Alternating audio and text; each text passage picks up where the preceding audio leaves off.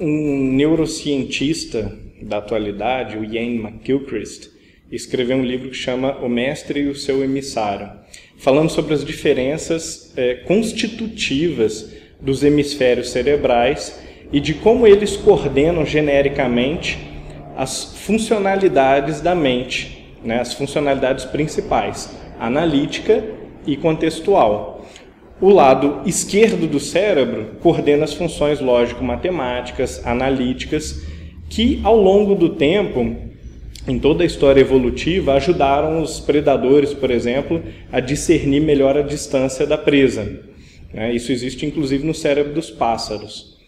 Uh, o lado direito do cérebro, que é o lado contextual ou, entre aspas, intuitivo, faz a ligação semântica ou estabelece os significados entre as coisas e das coisas especificamente, ele é, de certa forma, aquele que coordena a atividade do pensamento como um todo. Mas ele também tem a sua especificidade de função, que é observar as características, eh, digamos assim, contextuais de cada objeto do pensamento.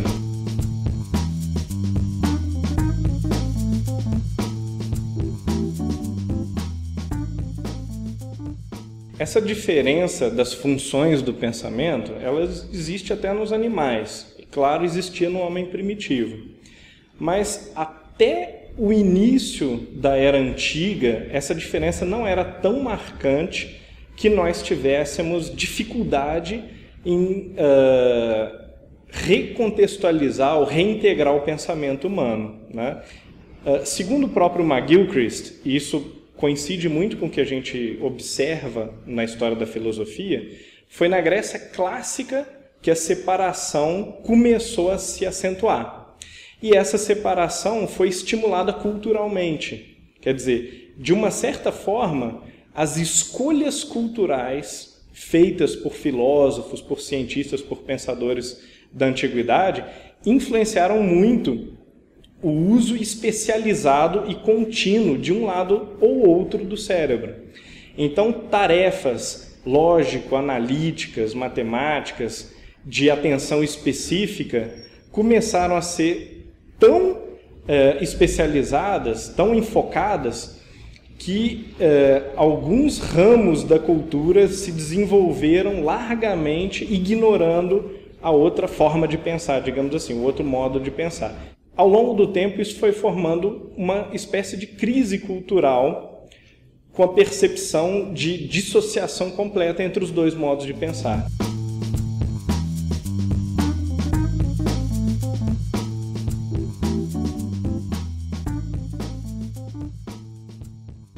Desde o começo do século XIX, a tentativa de separar as faculdades e de criar reinos completamente distintos filosofia teórica e filosofia prática ou moral, uh, ciência ou religião ou arte, começou a, a gerar não apenas uma percepção de diferença e de desintegração dessas funções, como já existia anteriormente, mas também a noção de proibição ou de exclusão de um campo por outro.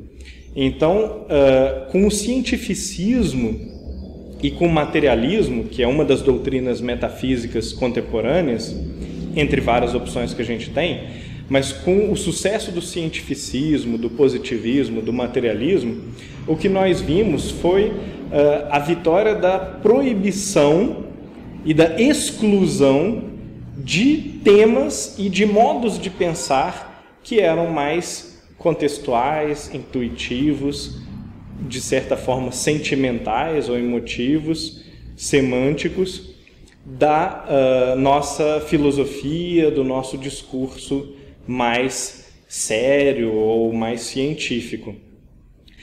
Uh, essa exclusão, no entanto, ela é totalmente injustificada, porque ela corresponde simplesmente a um programa metafísico e cultural de apreciação de um tipo de discurso em detrimento do outro.